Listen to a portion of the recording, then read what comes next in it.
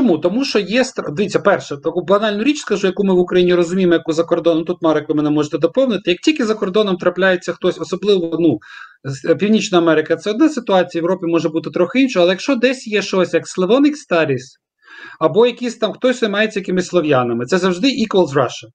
Ну, але потім же дотошний я починаю. Добре, ви про Рашу щось багато знаєте. Прекрасно. А можливо, ми поговоримо про удмуртів.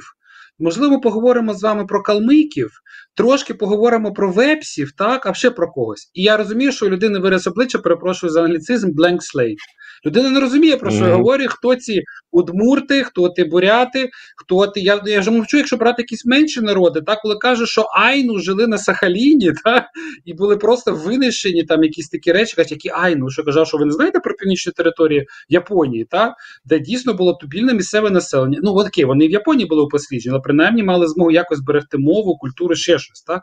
І я розумію, що нібито людина. Окей, перша проблема в тому, що все, що слов'янське, чомусь дорівнює російське, це велика проблема. А друга, навіть людина, яка по Росії знає тільки Толстаєвського, далі за е, ну тобто за е, по, по суті за от ну окей, росіян як слов'янський етнос, тут інше питання, з чого як він сформувався, але всі інші народи починають, особливо якщо брати тему про упослідження графінські корінні народи Росії, то про їх ну я маю та сам зізнатися, що багато нас я до цього часу сумніваюся, як вони правильно вимовляються через те, що а я вже мовчу про закордонних експертів. І це велика проблема, тому що коли про Росію говориш в такому плані, все людина розуміє, що не большой театр, да, і Пушкін з Лермонтова, так, а що це реально велика територія різних народів. Ну про Тиву це окрема історія. Я навіть перекладаю, я був в Базелі на форумі миру, виступав. Е, Там у нас була дискусія, так dual debate, де я стверджував, що треба буде спочатку justice, тобто справедливість, а потім має бути мир. І я на аудиторії розповідав, кажу: ви коли кажете, що там Росія за якісь свої цінності, хвилиночку, да перша дитина, яка народилася в культурній, на їхню думку, столиці Санкт-Петербургі, це була дитина національність Тива. І якщо просто добре перекласти, не просто дослівно перекласти, що понаписано, які відгуки в місцевих пабліках, так то я так і пояснюю англомовній публіці, перепрошую за грубі, що слово чурка це дорівнює в англійській традиції слово на «н», щодо чорношкірих, які не можна вживати, тому що це ненормально. Так, тому що це расизм чистий сферичний вакуум. І це тим, чим живе сучасна Росія. Відповідно, як тільки ми починаємо детально, дотошно пояснювати, хто такі калмики, удмурти, буряти, хто така хто така тива, я вже мовчу про менші географічні народи у послідженні, ми тоді впираємось в те, що йдеться не про розтин Росії нас, кровожерливих українців, які сидять думають, яку ж капець зробити нещасні Росії. От ми їм жити не даємо, от ми хочемо їх розшматувати, знизити, знищити, принижити. Жодному чином.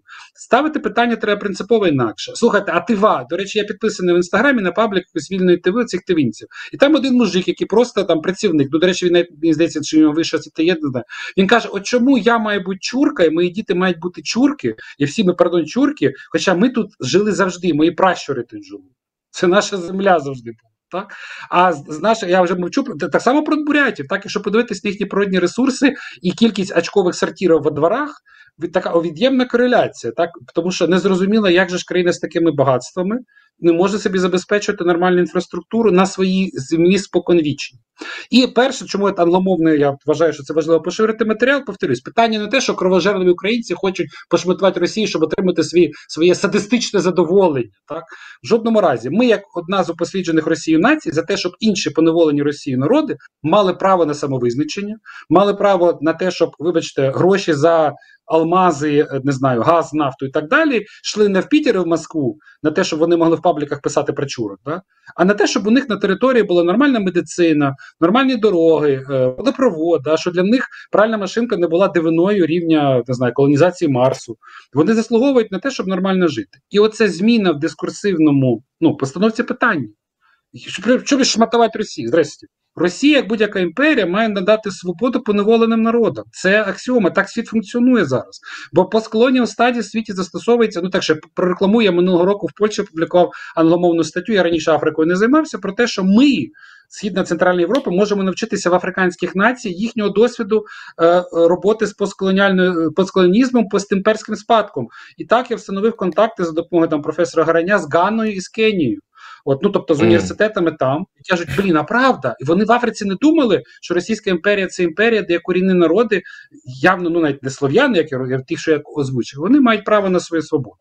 Фух, я так багато на одному подиху висловився, але перша моя теза, що розшматування Росії має бути не ну щодо розшматування, а дати право націям упослідженим Росією народом на те, щоб вони жили нормально і вільно. А от в мене питання.